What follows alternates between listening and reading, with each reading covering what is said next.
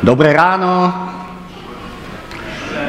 Bol som celku zvedavý, ako vyzerajú ľudia, čo prídu v nedelu ráno na prednášku exotickej technológii, tak, tak teraz to už viem.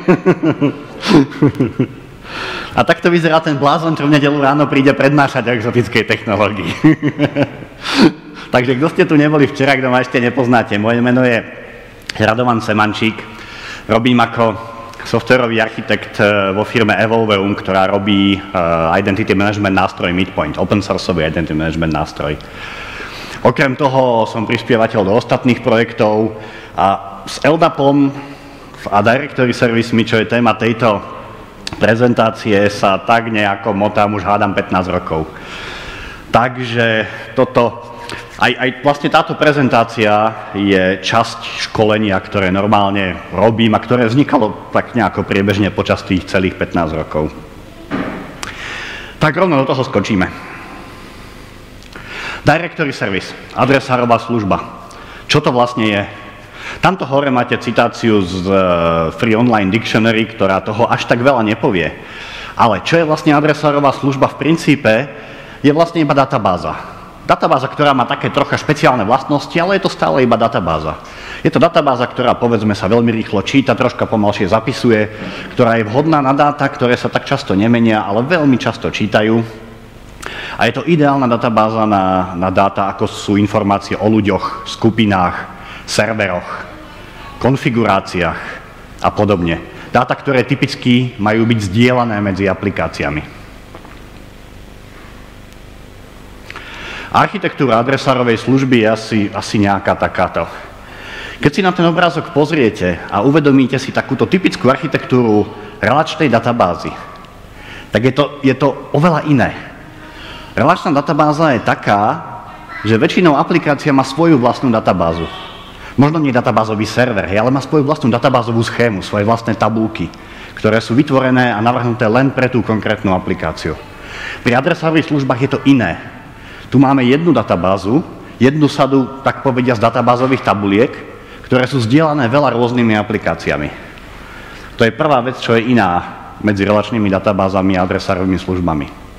Druhá vec, čo je iná, je, preto som tam nakreslil dva tie bubny. Uh, adresárové služby sa typicky dajú veľmi ľahko a veľmi efektívne replikovať. Dá sa spraviť viacero kópií tých istých dát. Skoro každý adresárový server, ktorý sa v ráno dokáže pozrieť do zrkadla, to dokáže spraviť. A ľahko. Keď si vezmete na druhej strane relačný svet, svet relačných databáz, tak málo ktorá databáza to dokáže spraviť poriadne. Sú, väčšina databáz má nejaké replikovacie techniky, ale je to skôr taký ten, ako by som povedal, hot standby alebo cold standby replikujú sa dáta, preto keď prvý nód vypadne, aby druhý nabehol. V adresárových službách nie, v adresárových službách sú všetky tie nódy aktívne naraz. Ako je to dosiahnuté? Prečo, prečo to vlastne v adresárových službách takto vieme spraviť? Je tak dané trocha architektúrou tých adresárových služieb. Oni sú to databázy, ale sú to veľmi, veľmi, veľmi zjednodušené databázy. Nedokáže to možno 10% toho, čo dokáže relačná databáza, čo sa týka zložitosti, vyhľadávania a podobne. Ale práve vďaka tejto jednoduchosti sa dá oveľa ľahšie spraviť tá replikácia, oveľa ľahšie sa dá spraviť kopírovanie údajov, oveľa ľahšie sa dá spraviť konzistencia, teda to lepšie povedať nespraviť konzistencia, pretože adresárové služby veľmi konzistenciu nezaručujú. Ale ďalšia vec, čo je zaujímavá na adresárových službách je, že na prístup k adresárovým službám je štandardný protokol LDAP. Keď si vezmete zase na druhej strane relačný svet, ani pre jednu databázu neexistuje vlastne štandardný protokol. Je tam SQL ako jazyk, ale protokol na sieti je pre každú databázu iný. Potrebujete driver. Na LDAP driver nepotrebujete. LDAP má štandardný protokol na sieťovej úrovni. Ďalšia zaujímavá vec pri adresárových službách je, že sú tam štandardné schémy. Schémy. Schéma znamená v podstate v takom tom relačnom svete formát databázovej tabulky. Čiže, čiže mena objektov, mena stĺpcov, dátové typy. Toto je veľmi štandardizované, štandardizovaná schéma. Také dve často používané slávne sú Person a POSIX Account. Oni sa, tie, tie štandardy sa reálne volajú inak, ale každý ich volá takto nejako podľa ob, mena object klasov, ktoré sú také tie primárne. Čiže to znamená, že keď je štandardizovaný aj protokol, aj schéma, tak sa veľmi jednoducho pripájajú aplikácie k adresárovej službe. Nepotrebujete dať do aplikácie driver, nepotrebujete aplikáciu nastaviť na takúto e, databázovú tabulku s takýmito stĺpcami a takúto s takýmito stĺpcami. Napíšete to teoreticky v podstate raz. Malo by to fungovať so všetkými adresárovými servermi. Teoreticky. K praktickým zádrhelom sa dostaneme troška neskôr. E, Adresárové služby, adresárové servery sú typicky veľmi také lightweight. Žerú málo zdrojov, potrebujú málo CPU, potrebujú málo pamäti typicky. Aby som to tak porovnal, povedzme, hm, typický adresárový server s rovnakým množstvom dát chce asi 10 krát menej zdrojov ako typická relačná databáza s tými istými dátami. Naozaj tak veľa, je tam taký obrovský rozdiel. Hej, zdrojov myslím 10 krát to znamená, čo ja viem, niekoľkokrát menej pamäti, niekoľkokrát menej CPU. Ale ten rozdiel je skoro o rád. Je to práve preto, že LDAP, tie adresárové služby majú veľmi zjednodušený dátový model, veľmi zjednodušené vyhľadávanie, majú jednoduchšie indexy a podobne. Tým pádom potrebujú menej toho, eh, toho výkonu. Čo je ale zásadný, ani nie tak problém, ale zásadná vlastnosť adresárových služieb je práve toto posledné Adresárové služby majú veľmi, veľmi rýchle čítania, vyhľadávania. Veľmi rýchle, extrémne rýchle. Ukážem za chvíľku aspoň nejaké čísla. Ale adresárové služby majú veľmi pomalé zápisy. Zase, ak to porovnám s relačnou databázou, tie zápisy pri, e, pri adresárových službách sú asi 10 krát pomalšie oproti typickej relačnej databáze. A touto vlastnosťou je tak trochu, tak trochu dané aj určenie tých adresárových služieb. Adresárové služby nepoužijete ako typickú databázu pre, neviem, bankové aplikácie. Pomaly sa tam zapisuje, zle sa číta, je tam jednoduchý datový model, vyhľadávanie, skoro žiadne transakcie. Na to toto nie je. Ale adresárové služby typicky použijete ako perfektnú databázu pre, ako databázu používateľov. Lebo používateľov meníte zriedka a čítate ich každú chvíľu. Čítate ich pri každej autentifikácii, čítate ich pri autorizáciách typicky. Používateľov čítate stále, stále dookola, menia sa, kol, menia sa ako často. Ak ste veľmi zabudliví a zabúdate heslo každý týždeň, tak sa to mení raz za týždeň. Je ten jeden záznam. Ale číta sa veľakrát každý deň. Hej. Podobne, podobne sú na tom skupiny, podobne sú na tom hosty v sieti, uh, nody v aplikáciách, Proste máte veľa takýchto údajov. Konfigurácia samotná. Konfigurácia sa mení, e, mení zriedka, číta často. Čiže tým je určený nejaké, to, nejaké to použitie adresárových služieb. A keď si všimnete tam hore, ono v podstate adresové služby sú, ono je to NoSQL databáza. Má to všetky črty NoSQL databázy. Nemá to SQL jazyk, je to databáza. hneď, dve, ale hneď dve hlavné črty NoSQL databáz. Ale takisto je to, je to špecializované, má to svoj vlastný dátový model, má to inú reprezentáciu dát ako normálna relačná databáza. Čiže je to NoSQL databáza, len oproti ostatným NoSQL databázam toto je troška staršie. Troška dosť staršie. Asi takto staršie. Základy toho, čo je dnes LDAP, vznikli niekedy v 80 rokoch ako protokol X500. Uh, starší z vás si asi pamätajú organizáciu, čo sa zvykla volať CCITT, taká tá Medzinárodná telekomunikačná únia, ktorá vydávala štandardy, o ktorých sme sa učili na škole a potom prednášali na škole. A tak teraz sa to volá ITUT. Tá organizácia má dosť tak silne zamerané silne zameraná telekomunikácie. Telekomunikácie týmto, v tomto momente myslím hlavne telefóny. E, oni v 80. rokoch navrhli štandard, ako spraviť celosvetový telefónny zoznam elektronický podstate taká tá kniha, čo sme vznik, vznik, nie, niekedy mali, tak oni to, tú knihu chceli spraviť celosvetovú. A keby, sa, keby to vzniklo dnes, tak čo, čo, čo, čo asi vznikne? Hej, Google alebo Facebook spravia jednu obrovskú databázu, kde nahádžu všetky záznamy a, a vybavené, hej, hotovo. V 80 rokoch to nebolo tak celkom možné, takže oni navrhli distribuovanú architektúru. Architektúru podobnú dnešnému DNS-ku, tak trochu. Čiže bola jedna centrálna autorita, ktorá mala odkazy na národné autority. Tie národné autority mali odkazy na jednotlivé telekomunikačné spoločnosti alebo veľké firmy a tak ďalej. Hej, hierarchická stromová štruktúra, veľmi, veľmi podobná DNS-ku. Až na to, že tie dáta tam boli trošička inak, trošička bohatšie ako v DNS-ku. Toto bolo X500. Čo bola nevýhoda X500 je práve to, že to práve robila táto politicko-globálno-filozoficko-lobistická organizácia CCITT a tým pádom tie protokoly boli zložité. Extrémne zložité. Ani by ma neprekvapilo, keby doteraz neexistovala jedna jediná kompletná implementácia tých protokolov.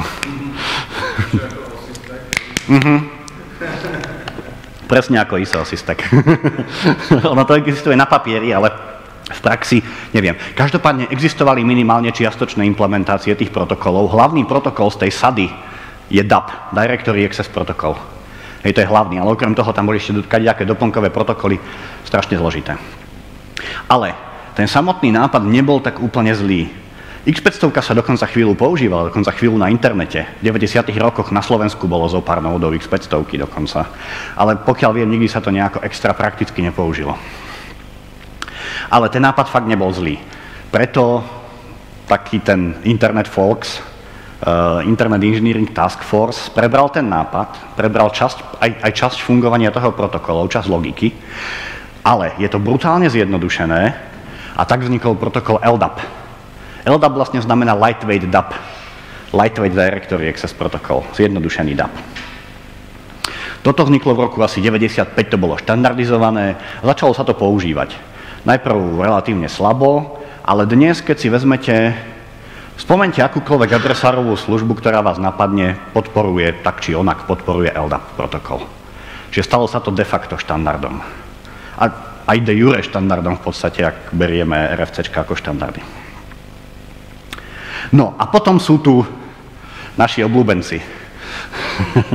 Microsoft, Novell a podobné firmy. Microsoft a Novell, troška na ich obranu, uh, treba povedať, že ich produkty vznikli, korene majú niekedy vtedy, keď LDAP vznikal, alebo ešte predtým. To znamená, treba Active Directory alebo Novel Directory Service, terajšie e-Directory. Sú to adresárové služby, ale ich filozofia nie je založená primárne na protokole LDAP. Oni protokol LDAP podporujú, ale tak svojsky. Oni majú treba iné pomenovávanie objektov. Oni to potom prekladajú do LDAPu, ale nie vždy to úplne sedí. Oni majú troška iné schémy, zase prekladajú to do LDAPu a do štandardných schém, ale nie vždy to úplne sedí. Je, takže pozor, hlavne pri práci s takýmito adresárovými službami, ktoré vznikli pred LDAPom, oni sú tak trochu zvláštne. Ale fungujú. Len potrebujete veľa trpezlivosti. Dobre, poďme naspäť do open sourceového sveta. V open sourceovom svete sú štyri adresárové servery, ktoré stoja aspoň za niečo. A to sú tieto štyri. Prvý je 389 Directory Server, 39 Directory Server, súčasť Fedora projektu, Red Hat. To, tento Directory Server má troška takú divokú históriu. Ono pôvodne to bol Netscape Directory Server, ktorý sa potom uh, dostal do rúk Sanu uh, s AOLom v iPlanet Aliancii, ktorá sa potom rozpadla, potom chvíľu ležal len tak na smetisku a potom to zobral Red Hat a teraz sa snažia nejakým spôsobom to dovyvíjať. Nie je to zlý directory server, alebo všeobecne nebol by to zlý directory server, keby sme stále boli v 90. rokoch. tá technológia naozaj nie je len trošička zastarala. Red Hat sa s tým snaží čosi robiť, ale keďže tá architektúra je relatívne stará, ono sa s tým, ťažko povedať, koľko sa s tým naozaj robiť dá. Každopádne ten server funguje a nefunguje zle. Potom je tu Apache Directory Server. Apache Directory Server je Directory Server postavený na Java, kompletne nový vývoj, až na to, že ten nový vývoj zase začal tak pred desiatimi rokmi. Je už 10 rokov nový a nikdy sa nedostal úplne do produkčnej fázy. ten zase, ten server funguje za istých okolností. Nie je až tak zle navrhnutý, ale úplne na produkčné nasadenie hádam nie je. No. Je dobré na experimentálne nasadenie, je dobré na prototypy, je to Apache licencia, viete s tým robiť e, e, skoro čokoľvek. Ak máte javovskú aplikáciu, krásna vec je na tom, že on sa dá spustiť ako embedded. Dá sa pustiť v rámci vašej vlastnej javovskej aplikácie. My takto napríklad používame e, ten tretí directory server v testoch, v unit testoch. Púšťame si ho ako embedded server.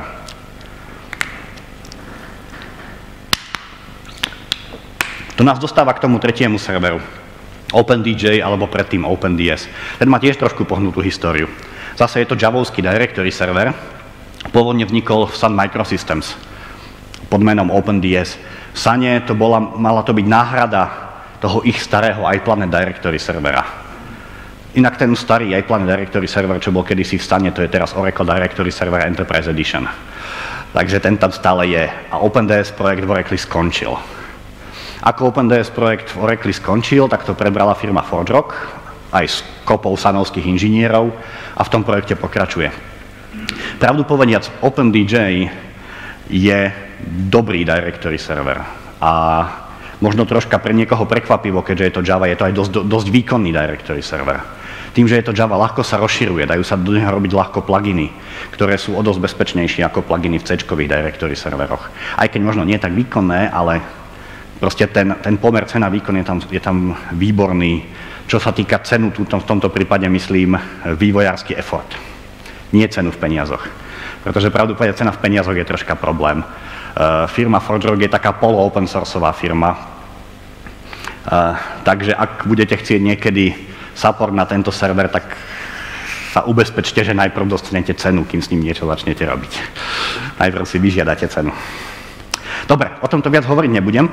Posledný server, hádam najlepší z tejto celej série je OpenLDAP. Asi najstarší, asi aj najznámejší v, tom, v tejto komunite. Rozhodne najrýchlejší. OpenLDAP vznikol kedysi veľmi, veľmi dávno, hádam skoro so samotným LDAP protokolom. Uh, uh, a prešiel niekoľko vývojovými stupňami. Je výkonný, je, dokáže spraviť search pod 1 milisekundu momentálne s tou, s tou Lightning Memory Map Database, čo tam majú. Naozaj výborný server. Stabilný, dokáže zvládnuť miliardy záznamov, je nasadený po svete kade tade, od maličkých webových kamier až po obrovské inštalácie so, so zložitou topológiou.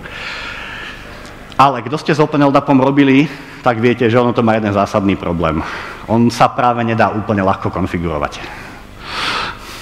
Tá konfigurácia je dosť zložitá a dokumentácia je troška zastaralá. E, na mailing liste sú ľudia, ktorí sa naozaj rozumejú tomu, čo robia, ale ich, ich odpovede väčšinou bývajú jednoriadkové.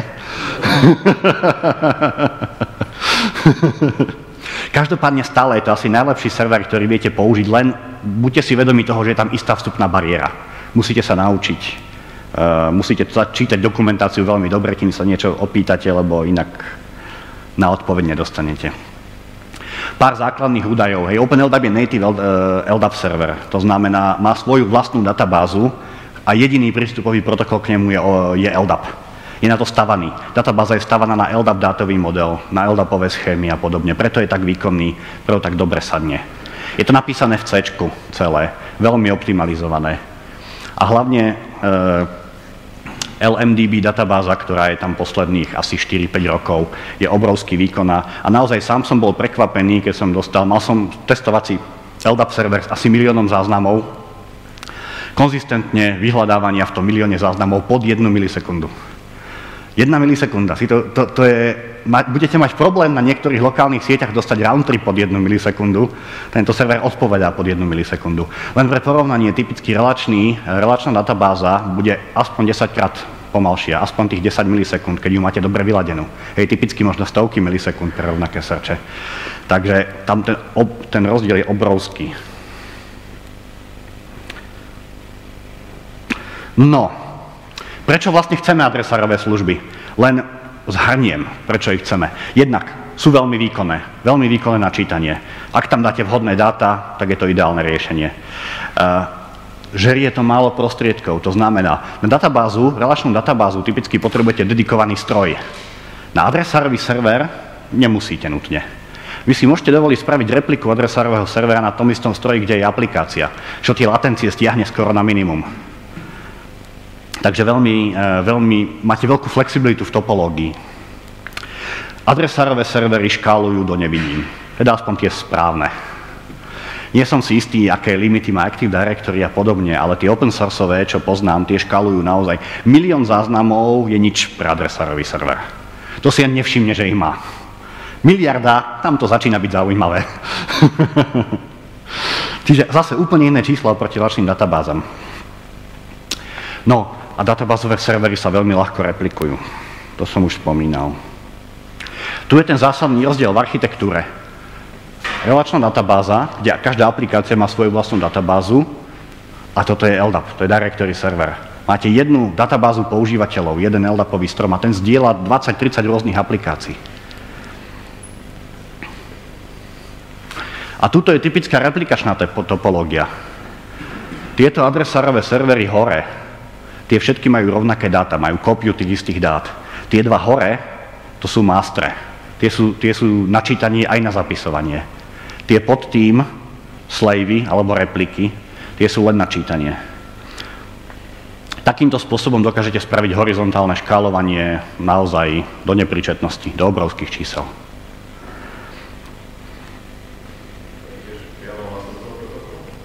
Uh, Dobrá otázka, či je, či je replikácia vlastnosť toho, toho LDAP protokolu. Pravdu povediac, asi do 2005 roku nebola. Každý directory server má svoj vlastný replikačný protokol, ktorý funguje len s ním samotným. Od roku asi 2005-2008 tak, také niečo je jeden štandardizovaný replikačný protokol, RFC štandardizovaný, ale implementujú ho len dva servery. a to je OpenLDAP a Apache DS.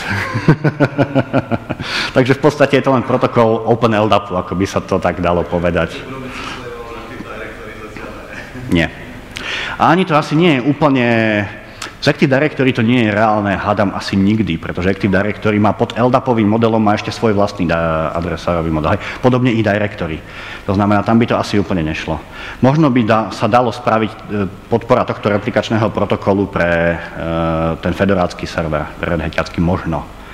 Hej, ale predpokladám, že to asi nespravia, no, pretože oni majú svoj vlastný replikačný protokol vyladený časom. Ťažko povedať, hej, ale každopádne teraz je stav taký, že aj keď je tu existuje štandard, tak vlastne ho skoro nikto neimplementuje. Čiže ak chcete replikovať, tak len z toho istého servera na ten istý server. Je tu jedno riešenie, troška si prihrajem svoju polievčičku, Midpoint. Midpoint vie synchronizovať dáta odkiaľkoľvek, kamkoľvek, čiže aj medzi dvoma servermi, aj medzi dvoma adresárovými servermi. Dobre, poďme naspäť k LDAPu.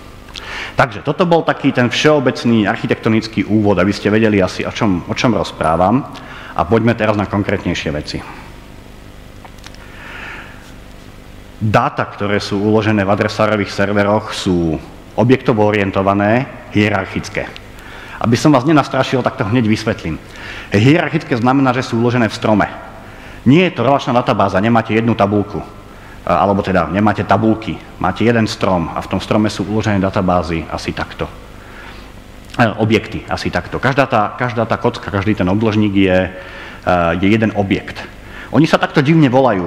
Aj oni naozaj majú meno CN rovná sa engineers a podobne.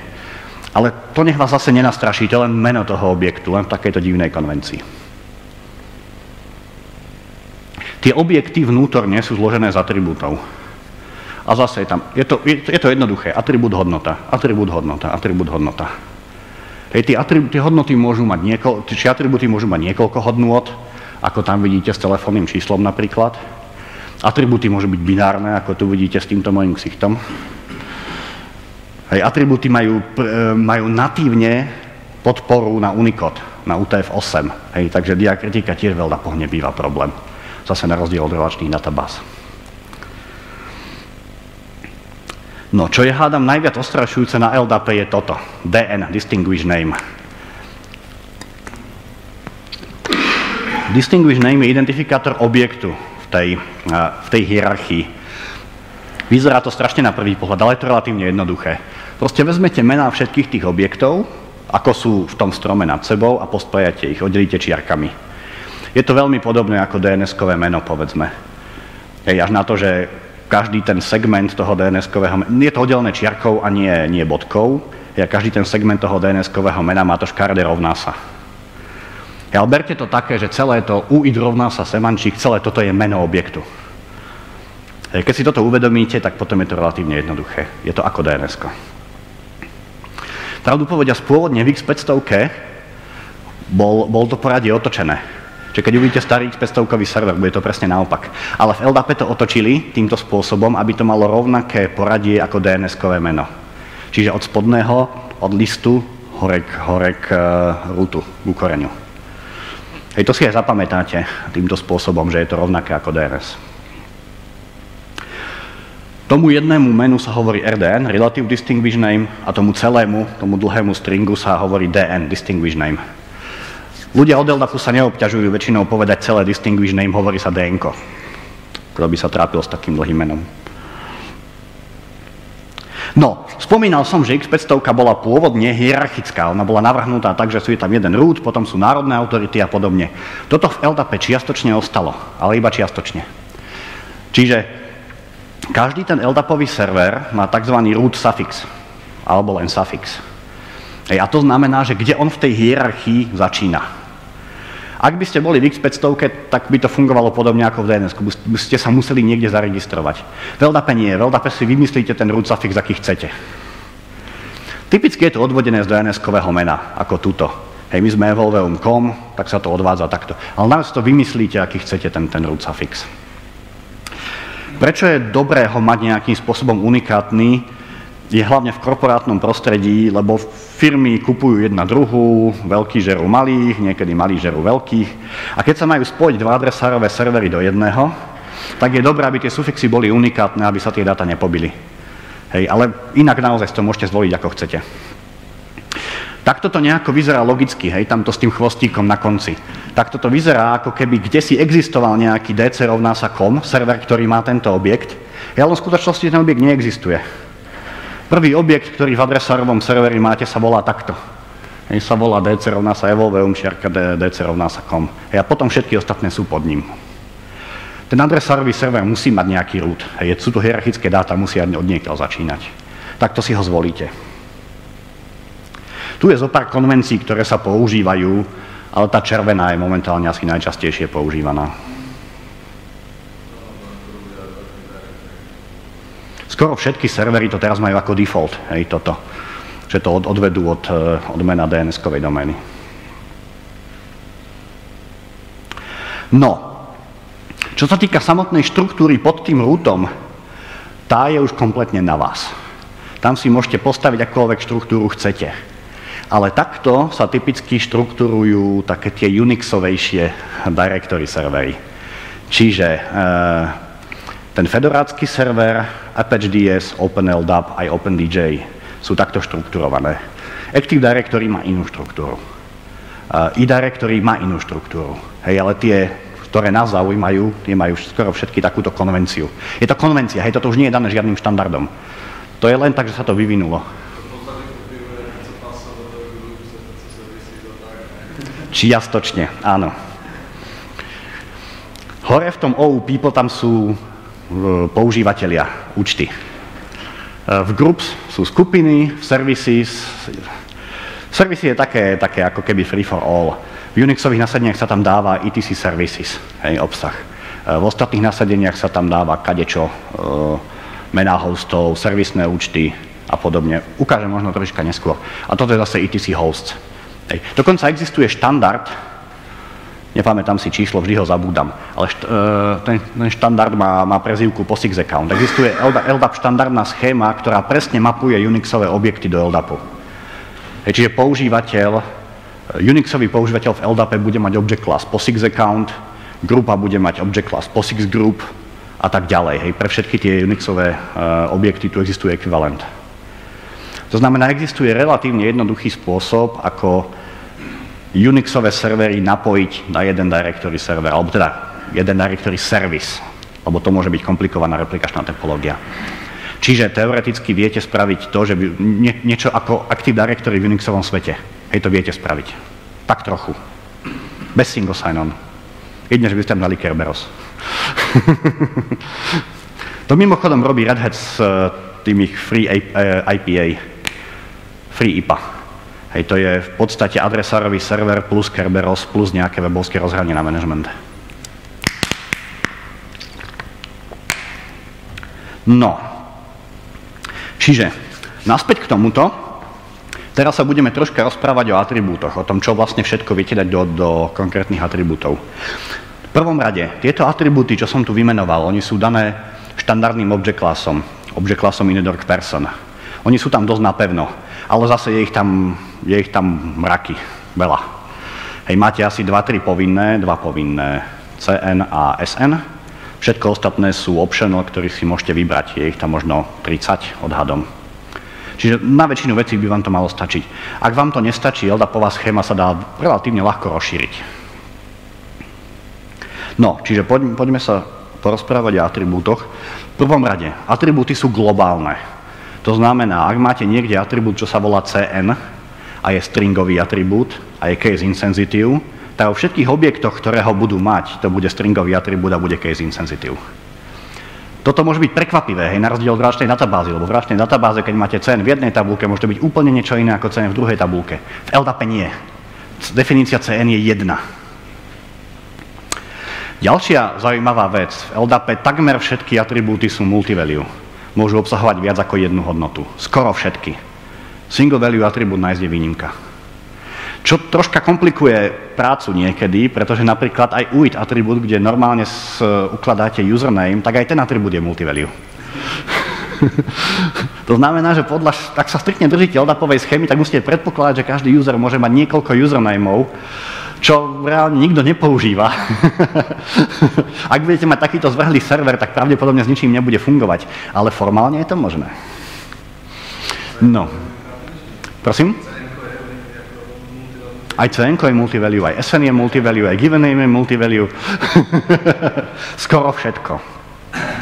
Uh, Spomínam tu stále CN, SN, e, to sú také tie LDAPové skratky, pretože ľuďom od LDAPu sa majú lenivé prsty, nechce sa im písať. CN znamená common name. To je väčšinou primárne meno toho objektu. Pri používateľoch je to ich plné meno, meno priezvisko, pri grupách meno grupy. A pri ostatných objektoch sa to používa ako také generické meno. SN znamená surname, čiže priezvisko. Hej, LDAP, LDAP ľudia si často skracujú takto veci, ale tie skratky vyzerajú síce odstrašujúco, ale zase nie je to nič zložité. No, dobre, atribúty môžu byť aj binárne v LDAP. A pravdou povedať, LDAP tým nemá skoro žiaden problém. My sme skúšali binárne atribúty a tam do všetkých tých LDAP serverov, ktoré som spomínal, e, atribúty nad 1 MB bez problémov. Hej, čiže také uložiť tam fotky nie je problém. Hej, fotky, avatary, ikonky, absolútne nie je problém. Certifikáty samozrejme, dokonca certifikáty to má, to má špeciálny atribút. No a atribúty môžu byť indexované. Čiže vy si môžete zaindexovať atribút SN, CN, skoro všetky môžete indexovať, ale zase globálne. To znamená, ak poviete, že atribút CN je indexovaný, tak bude indexovaný pre všetky objekty, ktoré ho majú. Je tam jeden globálny index na to. No a teraz, ako s tým LDAPom pracovať? Pre relačné databázy máte kadejaké PG, SQL adminy a SQL Explorery a podobne v LDAPovom svete je čosi podobné. Existuje tu zo pár nástrojov, kde si môžete vyklikať uh, obsah adresárového servera alebo klikaním to zmeniť. Čo je tuto zase iné, je, že tieto nástroje fungujú pre akýkoľvek uh, LDAP server, keďže aj protokol je štandardný, aj schéma je štandardná. Hej, nepotrebujete špeciálny nástroj pre OpenLDAP alebo OpenDJ. Ten prvý je asi taký ten najlepší, najsofistikovanejší. Apache Directory Studio. Čo jeho nevýhoda je, že je to založené na Eclipse, čiže je relatívne veľký. Ale pri dnešných desktopoch to zase nie je taký veľký problém. Nie je pomalý. Akurát, že veľa miesta na disku zaberá, veľa pamäte zaberá, ale zase nepotrebujete ho stále. Tie ostatné, pravdu povedať, tak trošku upadajú do pozadia. Niektoré sa už nevyvíjajú, niektoré sú veľmi jednoduché, práve preto, že tento Apache Directory Studio to prevalcovalo vlastne celé. No a typické mailové klienty vedia fungovať ako e, adresárové servery, aj keď tam tú funkcionalitu ťažko nájdete, takže, ale treba vedia spracovať LDAP, e, e, LDAP URLK a vedia mať adresbook ťahaný z LDAPu. Práve, že nie. Myslím, že kedysi to Mozilla vedela, ale nie som si istý, či to vie stále. Ne, určite nie. Tak potom asi nie. My to manažujeme midpointom. Hej. Hej, hej, hej.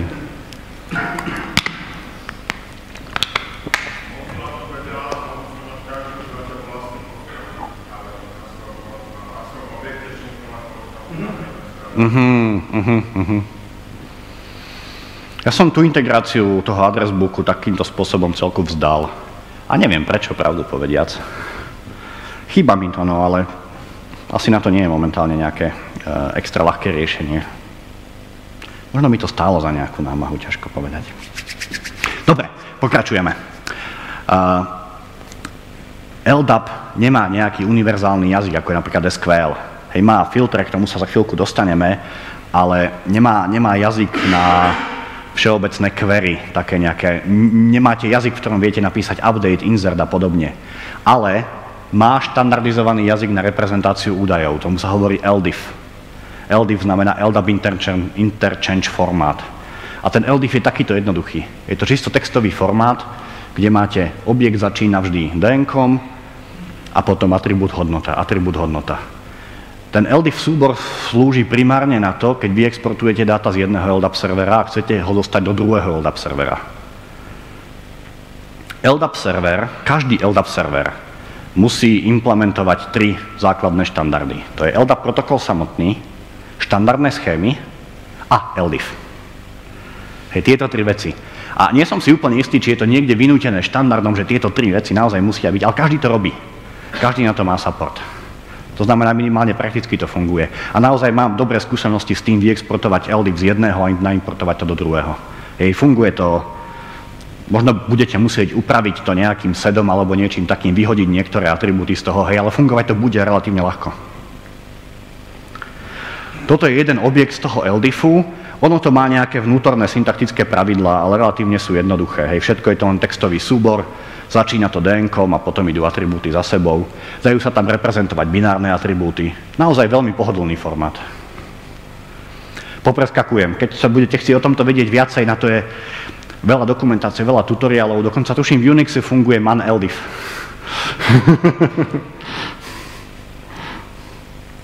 Dobre, poďme k samotnému LDAP protokolu ako takému. Teraz sme sa rozprávali o tom, ako vyzerajú dáta, ako sú štrukturované a teraz sa poďme pozrieť na operácie, čo s nimi vieme robiť.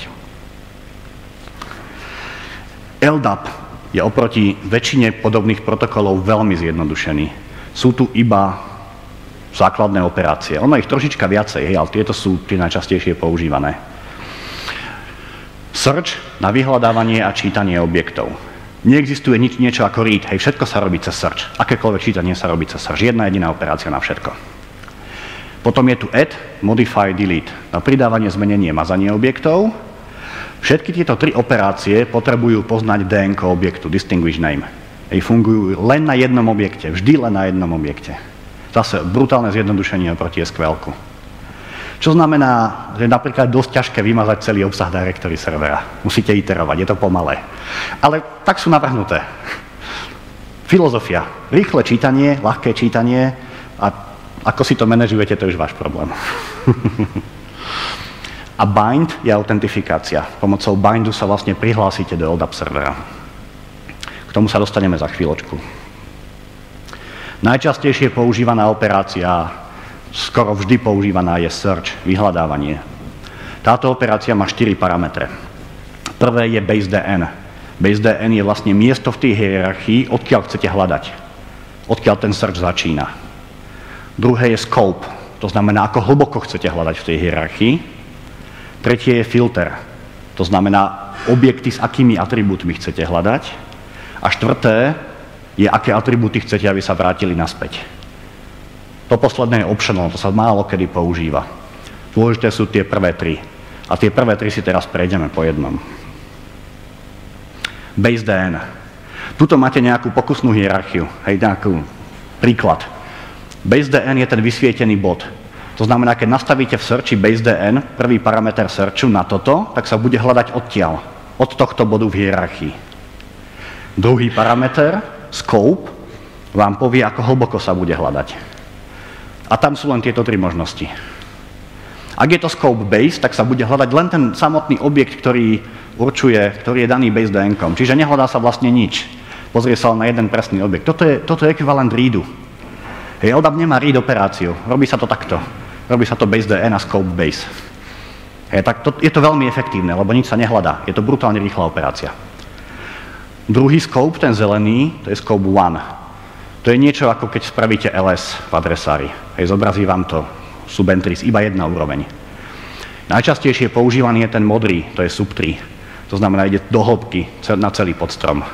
To je najmenej efektívny, ale keďže je to také brutálne veľké kladivo, tak sa používa najčastejšie. To je myslím aj default vo väčšine nástrojov. On zase nie je až tak menej efektívny, pretože uh, LDAP server väčšinou hľadá podľa indexov, nie podľa hierarchie. Čiže on najprv použije indexy až až potom tú hierarchiu. No, a tretí parameter do searchu je filter. Toto je tiež jedna vecí, ktorá je na LDAP odstrašujúca na prvý pohľad. Možno najviac odstrašujúca, ale zase je to jednoduché, keď tomu viete porozumieť. Ten filter je zložený z takýchto klauzul. To prvé hľadá objekty, kde atribút UID má hodnotu semančík. To druhé hľadá objekty, kde atribút CN má substring sem. Hej, to tretie hľadá objekty, ktoré má atribút UID s akoľkoľvek hodnotou. Tie ostatné hádam nemusím vysvetľovať. Hej, ten posledný je taký špeciálny prípad, je to, no, hack. Povedal by som elegantné riešenie v tomto prípade. Pretože LDAP schéma tvrdí, že každý jeden objekt musí mať atribút object class s hodnotou. To znamená, čo tento, objekt, čo tento filter vráti, sú všetky objekty. Hej, toto je univerzálny filter, keď chcete všetko. Pretože v LDAP protokole je filter povinný normálne. Hej, tak chcete všetko, použijete tento. No, a toto je tá zložitosť. Tie filtre sa skladajú dokopy. Skladajú sa v prefixovej notácii, to znamená najprv ide operátor a potom idú tie dve veci, ktoré skladáte. V SQL je to napríklad infixová notácia, to znamená v SQL máte jedna klauzulka end, druhá klauzulka. V LDAP nie. V LDAP máte end, jedna klauzulka, druhá klauzulka. Táto prefixová notácia je silnejšia, lebo treba viete spraviť end s troma alebo štyrmi operandami. Hej, čo v Infixe nespravíte. V LDAP to dokážete spraviť. Čiže toto je silnejšia notácia, je to menej prehľadné troška, je to zase kompaktnejšie. je to vec zvyku, je to relatívne jednoduché. To prvé je end dvoch klauzuliek, čiže to prvé nájde objekt, ktorý súčasne má given name Radovan a súčasne e, SN semančík. Hej, to druhé je OR, e, to tretie je zase end. To tretie je zaujímavé, lebo tak to sa často, často sa to používa v LDAP serveroch, keď potrebujete vyhľadať objekt s nejakými kritériami a konkrétneho typu. Hej, uvedomte si, že LDAP nemá tabulky. To znamená, keď spravíte jeden z tých prvých, e, ktorýkoľvek z tých prvých dvoch filtrov, tak vám to môže vrátiť objekty akéhokoľvek typu. Aj accounty, aj grupy, aj hosty, čokoľvek, čokoľvek sa nájde, čokoľvek sa mečne. Hej, ten tretí filter, ten vám to obmedzí na konkrétny typ, aby ste dostali len to, čo čakáte. No a tento spodný zápis, to je tak trochu rozdelený ten filter do, aby, aby sa dalo čítať. Väčšinou, bohužiaľ, vám to LDAP servery v takejto forme nezožerú, oni to chcú všetko v jednom stringu, v jednom riadku. Ale keď, keď neviete, prečo vám filter nefunguje, tak to takto nejako rozpíšte a zistíte. Je to podobne ako v Perle, keď robíte regular expressions. Tiež si to musíte troška poodsadzovať, keď, keď vám to prestáva fungovať. Ale podobne ako v Perle, keď si raz na to zvyknete, je to veľmi silný nástroj.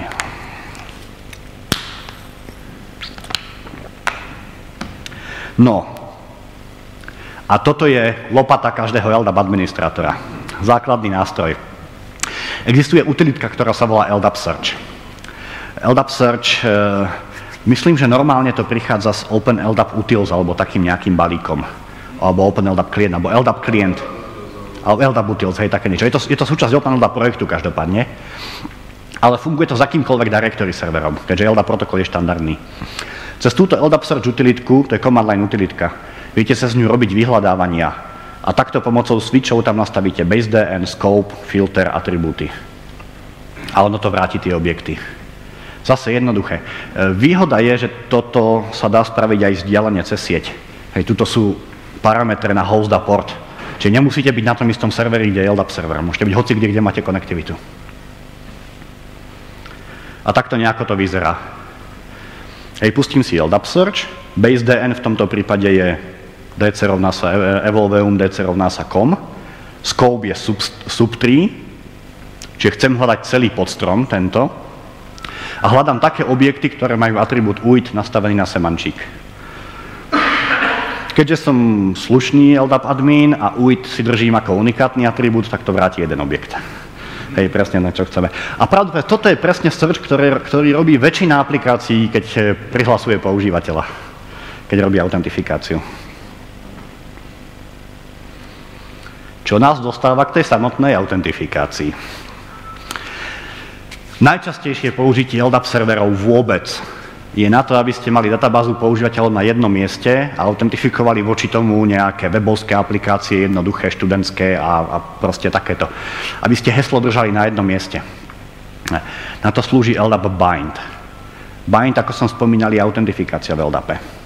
Čo je troška zaujímavé v LDAP, je, že databáza používateľov v LDAPu je v LDAP.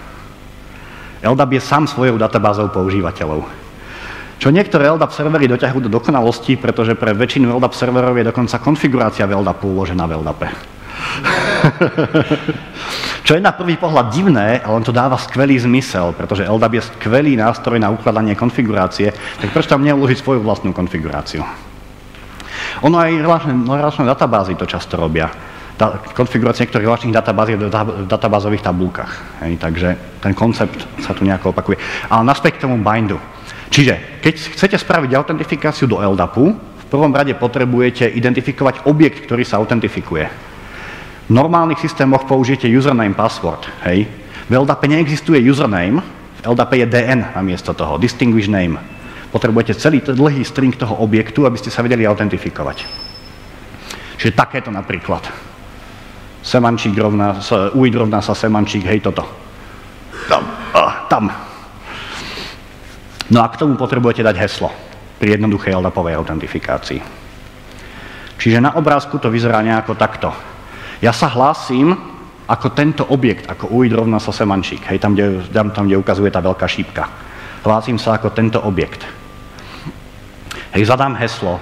Od toho momentu som v, ten, som v tej session prihlásený ako tamto ten objekt, ako semančík a môžem robiť ďalšie searche s tými právami, ako ten objekt má.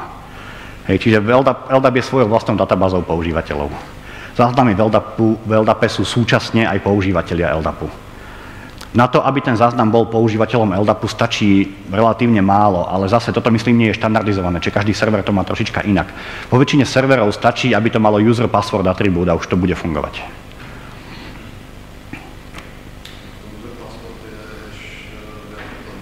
Dostanem sa k tomu, hej, za chvíľočku. Ďalší slajd. ak chcete využiť, ak chcete skúsiť autentifikáciu cez LDAP Search, tak sú tam takéto dva parametre, veľké D a, a dvojité V.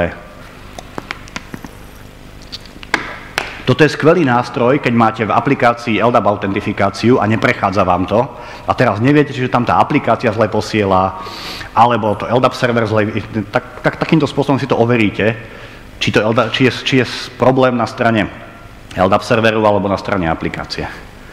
Jednoduchý command lineový nástroj. Čo je tuto? Hej, e, takto ešte spomeniem e, práva v LDAP. E, LDAP server si stále ťahá tú svoju históriu X500 tak trochu v tom, že väčšina LDAP serverov je, je default nakonfigurovaná tak, že sú read-only prístupné komukolvek, bez autentifikácie. Hej, väčšina týchto atribútov, tie čierne atribúty, tie sú väčšinou prístupné komukolvek. Bez, bez toho, aby ste spravili bind, hej, anonimnému používateľovi. To sa používa často na tie adresbooky kadejaké. Len si na to dajte pozor, keď nainštalujete LDAP server. Ako chcete, sorry, ako chcete nejakým spôsobom, kde si ukázať, treba to najprv zatvoriť. Uh, ale napríklad user password atribút sa normálne nezobrazuje. Takže tuto som sa prihlásil ako administrátor toho servera a už vidím, už, už mi server vracia user password atribút. Ďalšia zaujímavá vec v LDAP je, že LDAP tak trochu e, sa bráni tomu, aby posielal naspäť error pri searchi. Napríklad LDAP vám nevráti error, že žiaden záznam nevyhovuje. Vráti vám prázdny zoznam. LDAP vám nevráti error, že nemáte prístup k atribútu. Proste ten atribút neuvidíte v tejto sade. Hej, LDAP nevrácia erory, keď nemusí.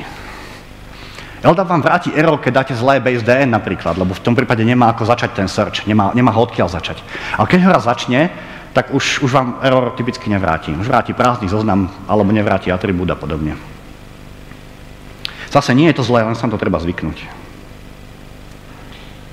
No a tu je to heslo. Heslo v LDAPoch je typicky uložené takto, ako je tam hore. Je zahešované a ten hash je uložený v LDAP serveri.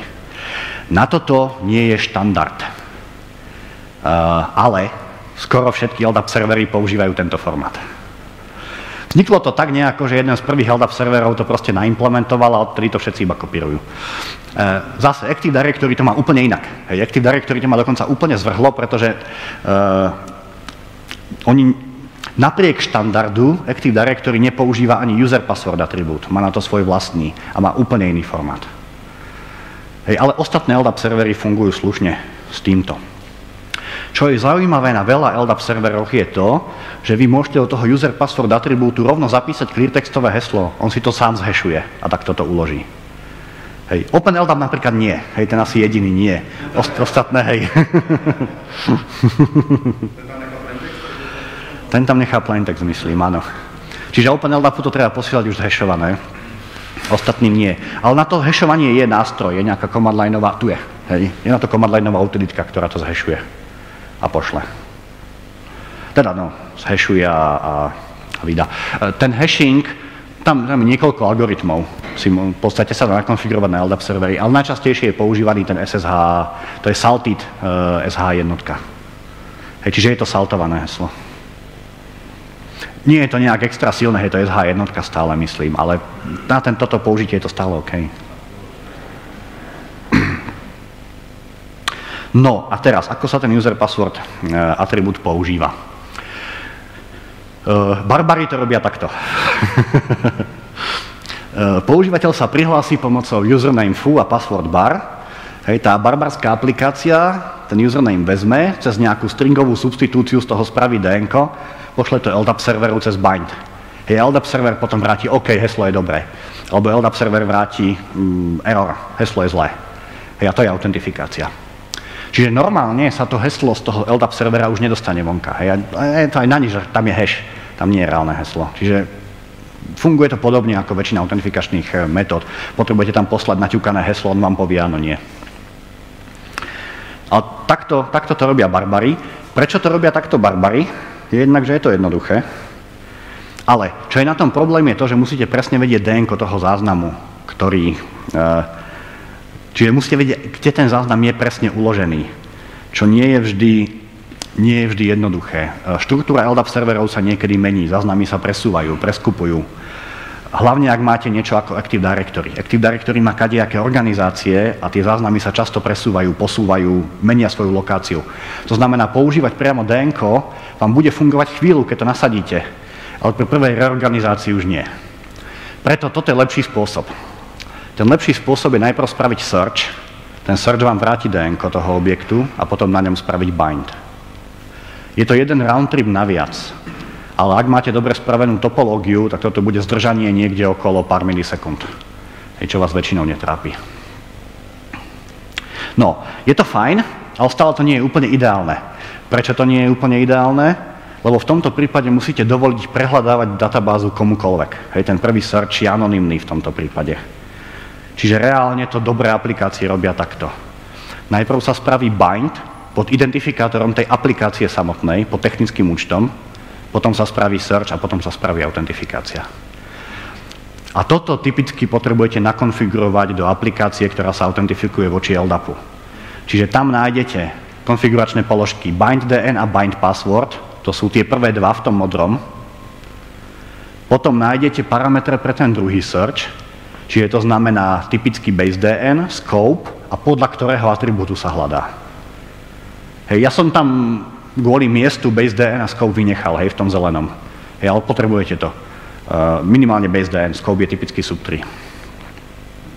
A to je všetko, hej. Ten tretí čierny bind sa už potom spraví sám podľa výsledkov. Tak. A sme skoro na konci. Pri LDAPoch je ešte veľa, veľa, veľa vecí. Toto bol taký veľmi rýchly úvodný kurz do toho, čo vlastne LDAP je a taká tá základná orientácia v tej celej problematike. Ale vôbec som neprešiel grupy. Vôbec som neprešiel konfiguráciu LDAP serverov, vôbec som neprešiel replikáciu, security, uh, použitie s Unixami. Čiže je tam toho ešte strašne veľa. Uh, typicky to školenie, ktoré robím, trvá 3 dní, takže Ale aspoň teraz máte, e, máte nejakú predstavu, ako sa orientovať v LDAPe. Čo je ale hlavne pri navrhovaní nových systémov pre architekta, čo je dôležité, je vedieť, kedy LDAP nefunguje poriadne, kde sú limitácie. takže ešte toto si prejdeme. V prvom rade LDAP je objektovo orientovaný hierarchický model, kde nie sú tabulky. Nemáte ani join. Neviete hľadať objekty na základe ich vzťahu. To znamená, neviete nájsť používateľa, ktorý je v grupe, ktorá má takéto meno. No, toto viete nepriamo. Hej, ale... nepriamo, hej. ale neviete nájsť, čo ja viem, používateľa, ktorý je na tomto hoste, ktorý je v tejto grupe. Hej, takéto niečo sa nedá nájsť. Tranzitívne relácie sú problém všeobecne v LDAP. Na to musíte dobre navrhnúť ten dátový model na začiatku, aby to fungovalo. Dá sa to kadejakými takýmito hackmi, ale musíte byť veľmi, veľmi opatrní a myslieť veľmi dopredu. Čiže LDAP je dobrý na jednoduché dáta, nie na zložité. Nepchajte tam relačné dáta, to bude katastrofa. Uh, LDAP má štandardný dátový model, ale pravdu povediac on už má nejaké tie roky a má svoje, ako by som povedal, zvláštnosti. Napríklad existujú dve definície pre LDAP grupu. Je group of names a group of unique names. Oni sú v podstate rovnaké, až na to, že majú trošička iné mená a trošička iné konvencie. Čo si ľudia od LDAPu uvedomili a vymysleli tretí, ktorý ale zatiaľ nikto nepoužíva. a k tomu je tu ešte POSIX Group, ktorý je úplne iný. Čiže ten dátový, štandardný dátový model má svoje limitácie, ale každopádne, keď robíte jednoduché veci, stále bude fungovať. Je dosť dobrý na, na jednoduché veci. No, čo je veľká bolačka všetkých held-up serverov sú nástroje na management. Vyklikávanie obsahu serverov a najmä konfigurácia serverov. Jeden to má horší ako druhý, pravdu povediac. Eh, LDAP je na tom horšom konci, toho, či Open LDAP je na tom horšom konci toho celého, ale ani tí ostatní nie sú nejako bohviakí. Preto napríklad máme dosť veľký úspech s midpointom, pretože to vieme manažovať rozumne. No, včera som spomínal single directory meet. To znamená taký ten mýtus, že napchám všetko, všetkých používateľov do LDAPu a všetci sa budú voči tomu autentifikovať. Ono to funguje len keď máte jednoduché homogénne prostredie. Čiže keď mám 5 web aplikácií a k tomu povedzme nejaké Unixy, tak to asi fungovať bude. Možno s tými Unixami už nie úplne. Je, ale tých 5 web aplikácií, hej, tak to fungovať bude. Používa to každý takto. Ale ak tomu pribudne nejaký mainframe, nejaké hr a ešte nejakých zopár enterprise aplikácií, už vám to fungovať nebude. Každá tá enterprise aplikácia bude chcieť trošička iný odtieň tej LDAP schémy, trošička, trošička iné zvláštnosti. Ja väčšinou dopadnete tak, že skončíte s dvoma alebo troma LDAPmi nakoniec. Jedno z nich bude Active Directory a k tomu budete mať ešte nejaké dotačné LDAPy. Nie je to chyba samotného LDAPu až tak veľmi, hej, tak tie štandardy mohli byť kúsok lepšie, ale vznikali pred 15 rokmi možno. Viac dokonca. Skoro 20 rokov to je. No, čiže na to, aby ste spravili kompletné riešenie, budete pravdepodobne potrebovať viacej komponentov. A ďalšia vec, čo som nepovedal. LDAP nie je primárne autentifikačný server. To, že sa používa bind na autentifikáciu, to je také, by som povedal, zneužitie toho protokolu LDAP vám nespraví dobrú autentifikáciu cez two-factor authentication, hej, cez viacstupňovú autentifikáciu, nespraví, nemá na to podporu. Viete spraviť povedzme, autentifikáciu certifikátom, to hej, viete spraviť možno kľúče nejaké, to áno, ale nie je to autentifikačný server. To znamená, plnohodnotné riešenie potrebujete viacej komponentov. Ten LDAP je tam nutný, lebo niekde musíte mať tú databázu, primárnu databázu, ale k tomu potrebujete typicky nejaký single sign-on server, čiže čo ja viem, vo webovskom svete CAS, v Unixovom Kerberos. A k tomu ešte potrebujete nejaký nástroj na správu toho celého. To môže byť treba náš midpoint, alebo to môže byť nejaké jednoduché webové klikátko, ktoré spravíte nad tým LDAPom. Minimálne na zmenu hesla pre používateľov. Tak. Otázky.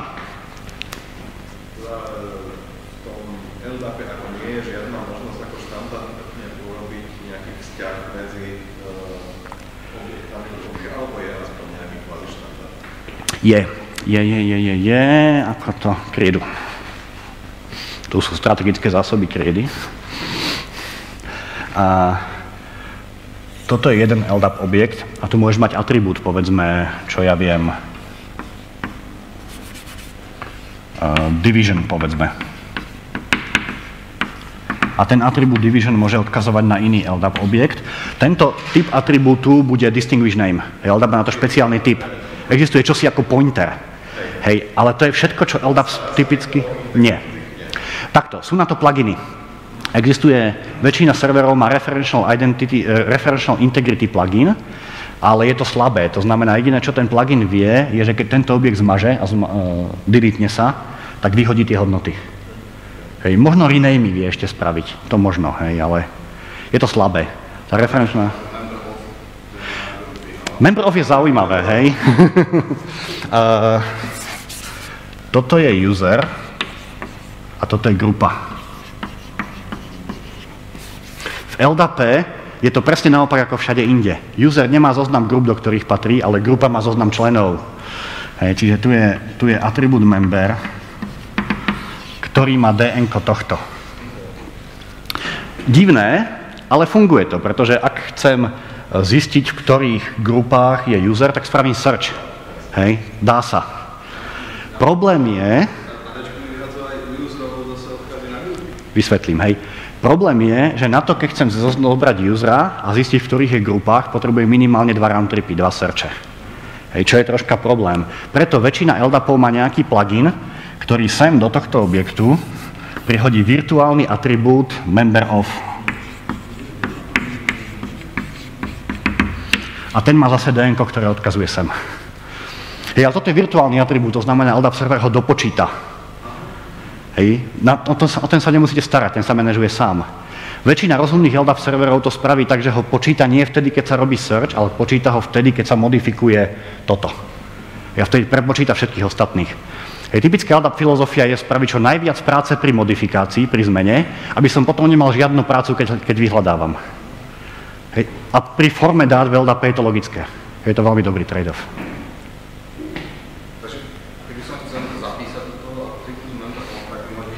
Chybu. Hej, musíš zapísať sem. Tak, že je to read-only. Hej, tieto atribúty sú typicky označené ako operational.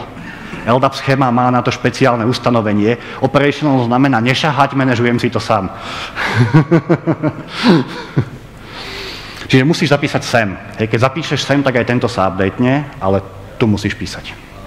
Je nejaký spôsob, keď mám LDAP server, o ktorom nič neviem, viem, viem sa k nemu pripojiť anonimne, ale neviem to bez Dá sa nejak zistiť?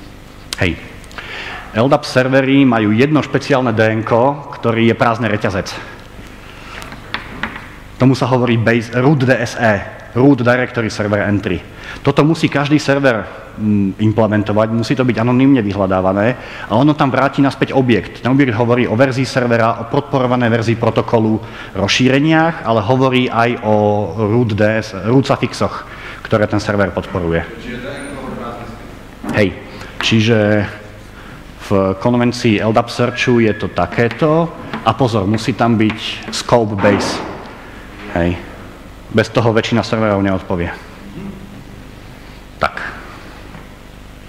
Ešte otázky od niekoho iného ako od vás dvoch. Dobre, nebudem naťahovať čas, lebo vás okrádam o prestávku, takže ďakujem.